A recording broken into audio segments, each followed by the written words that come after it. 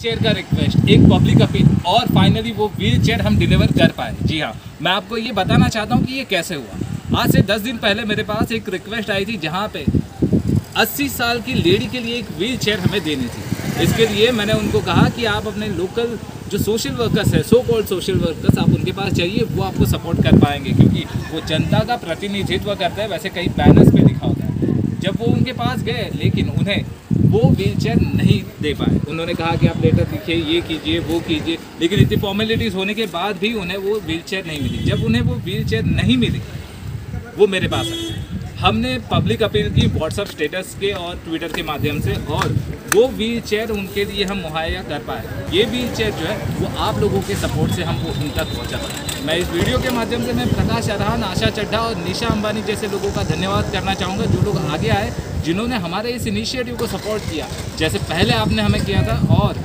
हम ये wheel chair उन तक पहुँचा पाए।